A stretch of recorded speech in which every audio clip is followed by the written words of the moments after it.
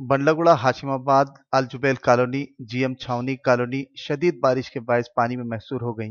GHMC, DRF, NDRF, महकमे police व दीगर राहत और बचाव कार्य में मसरूफ हैं। हालात का जायजा लेने के लिए ज़िले कलेक्टर हैदराबाद, श्वेता मोहंती, कमिश्नर हैदराबाद, अंजनी कुमार ने फ्लड जैसी सूरत हाल का जायजा लिया और अपनी रास्त निगरानी में बचाव कार्य के कामों की निगरानी की। City commissioner police Sanjani Kumar ने मीडिया से बात करते हुए शहर की अवाम से अपील की कि वो परेशान और दहशत जदा न हो। होश से काम लें। डीआरएफ, एनडीआरएफ, जीएचएमसी, पुलिस की खसूसी टीम अवाम को रेस्क्यू करने में लगी हुई हैं। तमाम सरकारी मशीनरीज राहत व बचाव कार्य में मसरूफ हैं। मौजूदा सूरत हाल में पंद्रह अफराद को बचा दिया गया। डायलिसिस गुर्दे के आरजे में मुब्तला खातून को भी रेस्क्यू कर लिया गया। कमिश्नर पुलिस ने कहा कि रेस्क्यू ऑपरेशन को बड़े पैमाने पर अंजाम दिया जा रहा है। आवाम की हिफाजत सरकारी मशीनरी की अवलिन तरजीह है। इस दौरान तमाम मजकूरा इलाकों के अलावा अतराफ अकनाफ के इलाके भी तीन फिट तक तकरीबन नौ फिट पानी में महसूर हो गए। अवाम खौफजदा हैं बचाव कार्य के मुंतजर हैं। कुछ अफराद पुलिस और राहत कार्य में महकमों को साथ लेकर मसरूफ़ अमल हैं। मुकामी अवाम अपने तौर पर आप एक दूसरे को बचाने, गजाई अशिया मुहैया करवा रहे हैं।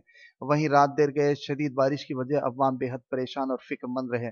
बारिश का पानी इलाके में सैलाब का मंजर पेश कर रहा था।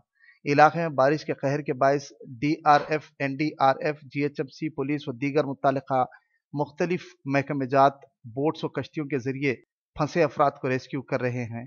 ग्राउंड फ्लोर पानी में डूब चुके हैं की तमाम अशिया ख़राब हो गई और रोज़मर्रा की गज़ाई अशिया नाकबिल इस्तेमाल हो गई।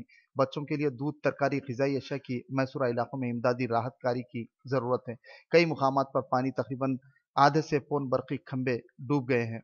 पानी सैलाब की शक्ल में महसूस हो रहा है। इमदादी राहत कारी के कारकुन मुतासरा को मुख्तलिफ़ राहत कैंप्स मुंतकिल कर रहे हैं। कलेक्टर हैदराबाद ने अपने दौरे के मौके पर मैसूरा इलाकों और अवाम से अपील की कि वो बारिश के दौरान बाहर निकलने से एहतजाज करें। उन्होंने हैदराबाद के मुख्तलिफ़ मुतासर इलाकों का मुतल सरकारी मशीनरी के हमरा दौरा किया और वक्ता फ़वक्ता हिदायत दी।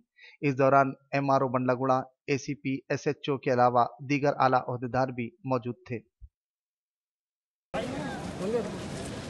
ప్రస్తుతం ఇక్కడ ఫలక్నుమా బ్రిడ్జ్లో చంద్రాయన్ గుట్ట పోలీస్ స్టేషన్ లిమిట్లో అల్ జుబేర్ కాలనీ తర్వాత చుట్టుపక్కనే వేరే కాలనీస్లో రెస్క్యూ ఆపరేషన్ కూడా జరుగుతుంది. నాతోటి పాటి పాటు ఇక్కడ జిహెచ్ఎంసీ ఆఫీషియల్స్ హైదరాబాద్ కలెక్టర్ గారు తర్వాత చంద్రాయన్ గుట్ట ఎస్హెచ్ఓ ఏసీపీ అందరూ కూడా ఉన్నారు. ఇప్పటివరకు ఉదయం నుంచి అబౌట్ ఫిఫ్టీన్ పర్సన్స్కి రెస్క్యూ కూడా జరిగింది.